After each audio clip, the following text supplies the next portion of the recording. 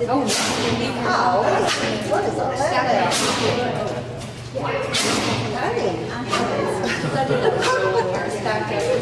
Are you allergic to me now? Is that bad? How do we manage two trials in a row to be back to back? I was behind you. I was behind you. Oh, you was, wasn't you? I moved her up in the second one today. Yeah. I ain't if we pass this one, just she didn't get it. Oh, I, I need this leg to be, we'll see. He won't Well, I should have been her both, but I was just wasn't confident enough. And then Tammy said, you really should have been. So we'll see. But we'll see. You do sneezing, get all that out of your system. Goodness.